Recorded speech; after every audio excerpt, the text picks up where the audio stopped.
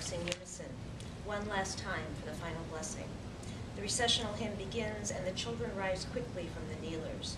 The grandparents, not so quickly. The Mass has ended, and everyone has gathered women in high heels and Sunday 18 karat gold, the men in dress shirts and suits.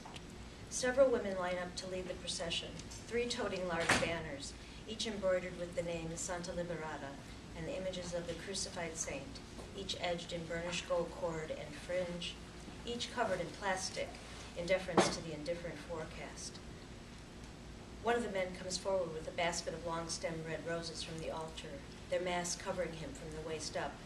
Nearby, the children giggle because it looks like the floral basket has legs and is walking itself to the processional lineup. He hands it to the only empty handed woman, and she joins the fifth member of the Society's Femminile divi- division, already hoisting an upright of a brown wooden crucifix bearing a golden Christ.